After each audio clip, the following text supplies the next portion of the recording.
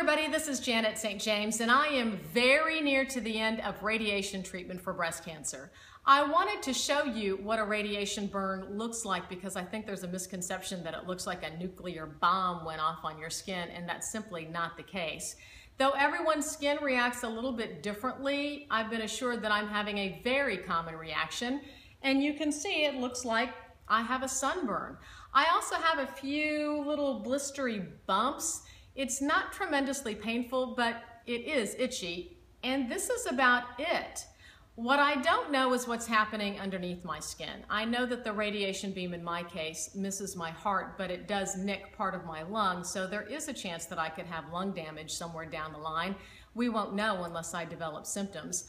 I'm gonna hope that that never happens and that what is happening is what radiation was intended to do, which is kill any remaining cancer cells left behind from the surgery or not killed during chemotherapy. If it's working like it's supposed to, then I get to do what I want to do, which is keep on living.